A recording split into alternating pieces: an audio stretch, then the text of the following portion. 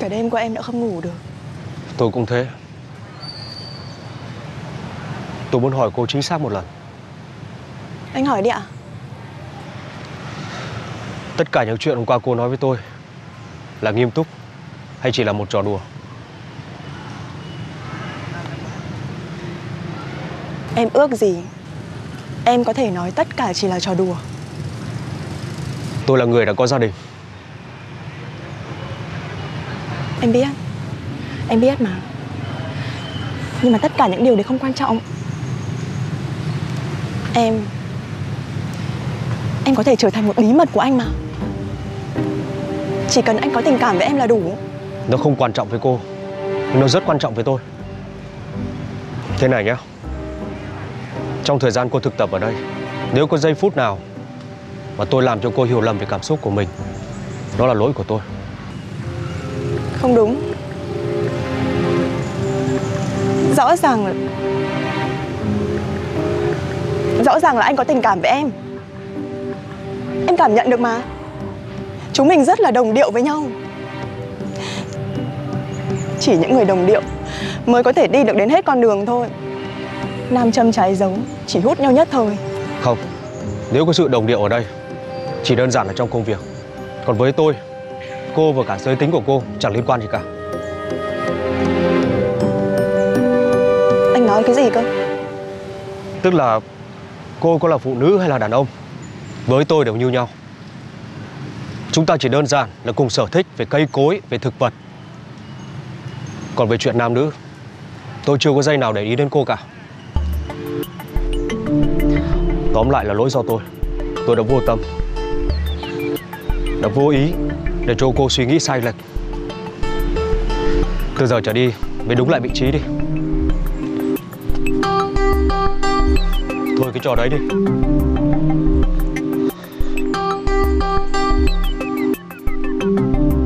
Thưa quý vị, cặp đôi công phương trong phim Gia đình mình vui bất thình lình tạo ấn tượng với khán giả bởi màu sắc riêng so với các cặp đôi khác. Chia sẻ cùng VTV Kết nối, nghệ sĩ Kiều Anh và Quang Sự cho biết họ đã dành nhiều tâm huyết cho hai vai diễn đánh dấu lần đầu kết hợp này. Và đồng thời, hai diễn viên cũng hé mở những điều bất ngờ sắp tới xoay quanh vợ chồng công phương. Qua những tập đầu phát sóng trên kênh VTV3, khán giả theo dõi phim Gia đình mình vui bất thình lình đã làm quen với một gia đình nhiều thế hệ. Ở đó, mỗi cặp vợ chồng phản chiếu một giai đoạn của hôn nhân. Cặp đôi anh cả, công, phương mang tới nét trầm tư, kiểu cách có phần gia trưởng. Ở lần đầu kết hợp, hai nghệ sĩ Kiều Anh và Quang Sự nhanh chóng tìm được tiếng nói chung để tạo nên hình ảnh cặp đôi giàu cảm xúc. Phim này là lần đầu tiên mà Kiều Anh được đóng cùng với lại Quang Sự. Thì trước đây thì um, Sự cũng đã là một người mà Kiều Anh rất là thực sự là rất là hâm mộ. Đây cũng là một cái rất là bất ngờ và một cái thú vị. Mà khi mà nhận kịch bản thì ờ, uh, Kiều Anh cũng có phần có thêm phần thích thú khi mà người bạn diễn của mình là Quang Sự. chị cũng là một người bạn diễn là khá là tâm lý. Hai chị em cũng chủ động tương tác với nhau có thể chia sẻ. Thì cho đến thời điểm này quan sự thấy rất là thoải mái. Và hy vọng là cái sự hợp tác này sẽ được uh, quý vị khán giả đón nhận cách nó rất là hoan nghênh Chúng tôi đã cố gắng để tạo ra những cặp đôi mà có tính tương tác rất là cao, có những sự ờ, hấp dẫn để cho khán giả thể chờ đợi. Cặp cả của chúng tôi thì là Quang Sự và Kiều Anh. Chúng ta thể nhìn thấy rằng họ có những độ đầm của lứa tuổi 40, có những vấn đề trong lứa tuổi. Chúng tôi rất may mắn khi có được Quang Sự, một người gốc Bắc hoạt động nghệ thuật ở trong miền Nam. Nên là anh cũng rất là nhanh chóng để bắt nhịp được với cả cách thức diễn xuất cũng như là lối sống của người dân phía Bắc, đặc biệt là người dân Hà Nội cổ. Trong cuộc sống hàng ngày, gia đình anh cả, công, phương khiến người xem cảm nhận những dạng đất ngầm bởi tính cách khác biệt giữa hai nhân vật. Với dạng vai sở trường, nghệ sĩ ưu tú Kiều Anh và Quang Sự đã mang đến những nét tươi mới trong diễn xuất và tạo hình. Cả hai không ngại làm xấu ngoại hình để thể hiện nét cá tính riêng của nhân vật, đồng thời tạo sự lôi cuốn bí ẩn cho vai diễn. công là một nhân vật mà có thể gọi là bề ngoài thì hơi luộm thuộm rồi ờ, không có trau chuốt về mặt hình ảnh còn nói năng hay tính cách có vẻ hơi kiểu khô à, hơi ờ, một chút gì đó ra trường nhưng thật sự tất cả mọi thứ nó đều có lý do. Ngày xưa thì thời sinh viên thời còn trẻ thì công chắc chắn là có sự lãng mạn nhất định của một người sinh viên. Và sau có một cái biến cố sự cố gì đó thì cái tính cách của cậu này với với vợ à, có sự thay đổi. Ờ, đặc biệt là cái cái thái độ và cái thể hiện tình cảm ở bên ngoài. Thì những cái sự cố những cái câu chuyện phía sau những cái biến cố đó như thế nào thì những tập tiếp theo về sau để khán giả sẽ hiểu.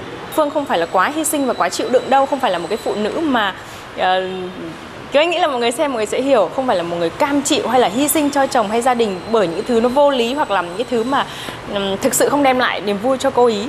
thì Kiều Anh nghĩ rằng là trọng Phương ấy, Phương sẽ phải cảm thấy là tại sao mà Phương làm như vậy, tại sao Phương lại yêu gia đình đến thế, tại sao Phương lại hy sinh như vậy. Bởi vì um, cô cũng không phải xuất thân từ một người quá nghèo khó hay như nào mà đến gia đình lấy chồng là có vẻ như kiểu hy sinh tất cả và như một cái người giúp việc trong gia đình được. Ở diễn biến tiếp theo, sóng gió liên tục ập đến, thử thách hạnh phúc của cặp đôi công phương, đồng thời tiết lộ những bí mật từ thời thanh xuân. Đảm nhiệm vai diễn có chiều sâu nội tâm, diễn biến tâm lý phức tạp đã mang lại sự hào hứng cho hai nghệ sĩ khi nhập vai. phân đoạn riêng của hai vợ chồng sẽ có những cách biểu hiện tình cảm cách xây dựng và cái cái màu sắc ở đây nó cũng rất là đặc biệt và rất là khác biệt trong với tất cả so với những cái cặp đôi khác từ bố mẹ hay à, các em cái cách diễn tả của các bạn biên kịch và đạo diễn cái dành cho công phương cũng là một cái màu sắc nó rất là khác rất là riêng biệt.